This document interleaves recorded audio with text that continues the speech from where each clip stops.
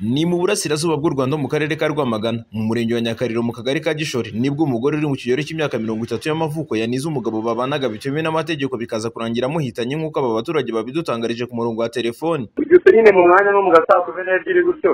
Umumeri ngo yabyutse nko mu gasaa kumi n'imwe nyine ahuruza abantu atera inzu ahuruza abantu. Bene baraza babijyamo nyine rero babijyamo saa kumi n'imwe burimo bucya nyine. N'abandi uko babyuka bajya mu kazi bagenda babimenya gutyo biyongera. Bareba nyine uburyo uwo nguwo nyakwigendera uburyo amezemo yari yise aho ari aho mayisiri ni mu cyumba n'ubundi aho abana n'umudazi aho barara.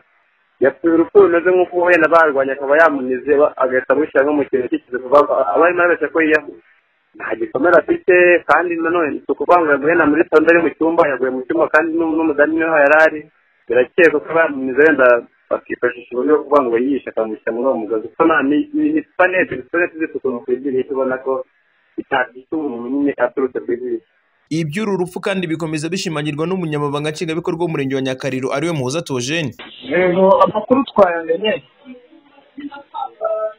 ariko uburyo ubona urupfu rwe rumeze ni uburyo budasobanutse twahamagaye ibu yahageze. Ubu irimo irakora iperereza kuri urwo rupfu andi makuru aramenyekana nyuma. Amazina ya nyakwigendera ni nsengimana aloyce afite imyaka mirongo itatu n'ine. Uwo babanaga mu buryo batarasezeranye. Umugore we babanaga mu buryo ariko ku bwumvikane batarasezeranye. Yitwa yitwa tuyisenge jeannette. Ni abantu bimukiye inaha vuba. Bakomoka mu majyepfo mu ntara y'amajyepfo umugore akomoka mu karere ka ruhango umurenge wa rusatira. Umugabo akomoka mu karere ka nyanza umurenge wa kigoma akagari ka butara. Bari bimukiye inaha vuba. Babanaga iminsi mike bari bamaze ino. Babanaga neza ariko ni abantu akomeza agaragaza ko n'ubundi bari basanzwe babanye mu makimbirane ndetse akavuga ko umwuga bakoraga ari ubujura. Akanavuga ko kuri ubu muri uyu murenge amakimbirane akomeje kugenda arushaho kwiyongera mu bashakanye. Babanaga bari bahageze vuba ariko ukabona ibyo bakora ntibisobanutse bari abantu ubundi bakekwaga mu bujura n'ibindi nk'ibyo ngibyo. Tugana turavubaza amakuru batubwira ko nta kazi bageraga ariko bari suspect ko ari abajura bombi. Bakabikorera i kigali ariko ntabwo ari inaha ibijyanye n'abashakanye we amakimbirane byari bihagaze gute muri uyu murenge? Amakimbirane y'abashakanye muri iyi minsi ntabwo byari byaragabanutse. Amakimbirane arimo aragabanuka ariko amakimbirane arahari. Amakimbirane ahari ahenshi ashingiye ku mitungo. Ashingiye ku mitungo ikindi kiziza n'amakimbirane ni ugucana inyuma. Ni ugucana inyuma kw'abashakanye amakimbirane ashingiye ku mutungo. Nibyo byakururaga amakimbirane ahanini ikindi na cyo gishobora kuba cyabizana ariko ni pasentegi ntoya ishoboka ni ubusinzi. Kutita ku muryango wenda umugabo akanywa cyangwa umugore ariko ntaba yakita ku rugo rwe ibyo ni byo bijyanye n'amakimbirane ariko nta kese zidasanzwe dufite. Izo twari dufite zagiye mu nkiko bari muri porosidire ya divorce ni kese ebyiri. Ubundi nta makimbirane yakundaga kuboneka hano cyane. Ubutumwa duha abaturage ni uko bagomba kujya bamenyekanisha ibibazo bafitanye hakiri kare bakabivuga ku buyobozi. Ikindi ni uko abantu bashya binjiye mu mudugudu nk'uko abangaba bari barabaruye babaruye. Ariko ahanini ni gushishikariza imiryango ibana mu buryo batasezeranye tubasezeranya tumaze iminsi muri gadi wiki rero ibindi byo ni ibisanzwe ni ukubihanganisha ariko no kubasaba gutangira amakuru ku gihe. Ni mu gihe kuri ubu umurambo wa nyakwigendera wese utwarwa n'urwego rw'ubugenzacyaha ribu mu rwanda kugira ngo ujye gukorerwa isuzumwa hamenyekane icyamuhitanye remi ngabo nziza btn tv mu karere ka rwamagana mu murenge wa nyakariro. Aya makuru yamenyekanye ku isaha isa ine ushyira saa tanu za nijoro. Aho bamwe mu baturage batuye mu murenge wa Jari mu kagari ka Nyakabungo mu mudugudu wa Gitaba bavuga ko batumwe no kumva urusaku ruri kuvugira mu ishyamba rya Jibeka. Ahari hari kubera umurwano w'abari gukirana biba ibiti byo muri iryo shyamba rya Jibeka aho umwe yaje gukubitwa umuhoro. Mu gatuza nk'uko bamwe mu baturage twaganiriye babitangaza. Uko bi- bigenze ba- babafashe barwanya bari bari gupfa ibyokezo. Ubwo rero nanjye nari nibereye mu rugo numva induru ziravuga kuko hari mu ishyamba ari mu mikoki. Nzamuka njya kureba mpageze. Aba bahungu bari bari bamanuka barimo kumanuka. Baba barahagaze mu- nimumbwire ukuntu bigenze. Mba mbonye uyu nguyu yaturutse haruguru yari kuvirirana amaraso. Ubwo ndababwira nti murabisobanura n'ibyo byokezo murimo kuratisha byose birabapfana ubusa. ubwo ngubwo turamanuka tugera mu rugo duhamagara umu- umugabo duturanye ahita ahamagara umunyesi umunyesi baraza turaza tuza hano ku mudugudu niko kuza hano sinzi aho ugurira iyi munyesi y'abandi ngewe uko mbona ndabona ari ari- ni umurengwe n'umuntu w'ingo bafite wa jebeka. Jebeka kuko iyo jebeka batayigiyemo ntabwo ibi ngibi byose bishobora kuba. Ahandi ikintu gitera ingeso mbi ku bantu b'urubyiruko. Iyo ateye ibiyobyabwenge aba ari ikigare hagati y'ibyo bibiri ubu ni kimwe cyabateye ikigare cyangwa ibiyobyabwenge. Aha ntabwo bikwiye nk'abanyarwanda. We ntuye ishyamba rya jebeka numvishe bavuza induru. Ngenda ngiye gutabara n'urukweto rwanjye ruracika niruka njya mu ishyamba ariko kuko nta ntege nari mfite mbona baramanutse n'abantu benshi. Bari kumwe n'aba bana n'uno mudamu naherekeje Nuko ndayavuga ubwo naje ntabara mvuga nti abana n'umubyeyi nk'uriya se. Baba batemanye gute?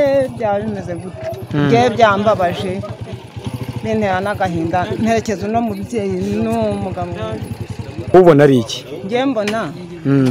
Mbona abana bashobora kuba bakwiga bakagira imyuga.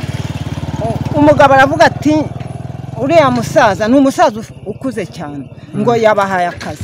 Ese kuki atabigisha kujya mu ishuri akabigisha kujya gutema jereka ni byo navuga. Ibi byaduteye kuganiriza aba basore b'imyaka cumi n'umunani babiri bashyirwa mu majwi n'uyu musaza avuga ko ari bashyirwa mu majwi n'umusaza avuga ko ari bo bamuteye umuhoro hakana ko atari bo bawumuteye ahubwo ari ugukirana bari bari gukirana. Uyu mugabo akawugwamo nk'uko bano bana babivuga.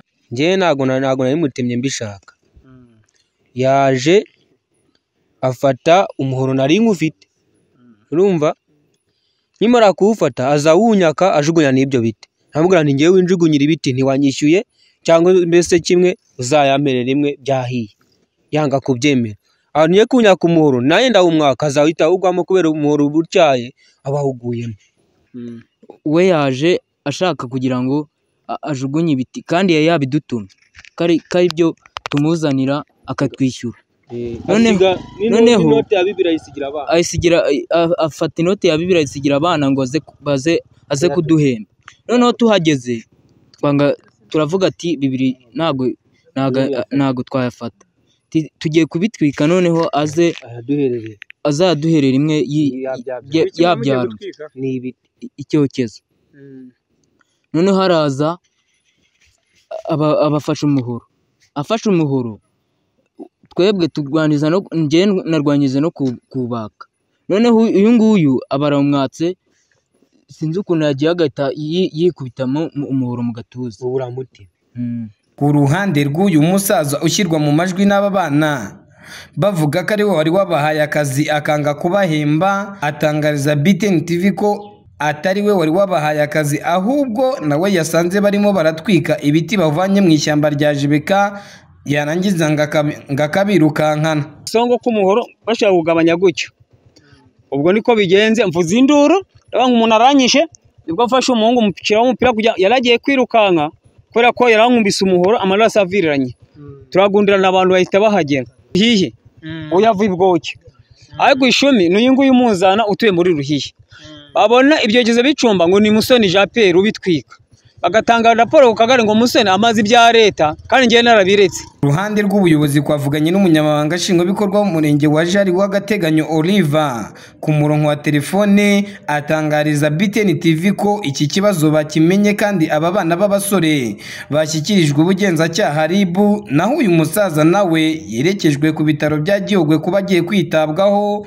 Icyo kibazo twakimenye sinzi icyo wita abana kuko ni aba- ni abana b'abasore reka nanjye nkoresha iyo ukoresheje bari basanzwe bari ku rutonde rw'abantu bashakishwa biba ibiti bya leta bangiza ishyamba rya leta. Kuba rero yari yabatumye ibyo nuko ntabwo tubizi kuko ni abasore babiri ubwo b'imyaka cumi n'umunani uwo wundi yitwa musoni jean pierre w'imyaka mirongo ine n'umunani.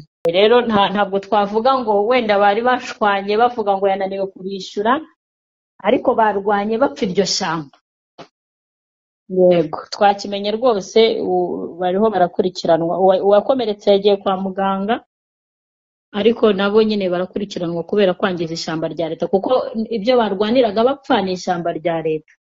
Ntabwo batumaga mu ishyamba ryabo kuba yabatumye ubwo ni byo inzego z'ubutabera cyangwa se zishinzwe gukurikirana ibyaha zagenzura ariko ikigaragara bose bari bari kurwanira mu ishyamba. Gusa ikibazo cy'umutekano muke saa gusa gikomeje kumvikana muri uyu murenge wa Jari no mu duce dutandukanye tugize umujyi wa Kigali menyekanye amakuru y'insorensore zari zateza umuturage zikamukubita zikamunyaga na telefone. Gusa abaturage ntibahwema gusaba ubuyobozi ko bagira icyo bwakora kugira ngo iki kibazo cy'izi nsorensore babe bagira icyo bagikoraho kugira ngo babe bacika muri iyi mihanda bagenda batega abantu babanyaga amatelefone njye imana ishimwe Pierre BTN TV Rwanda i Kigali.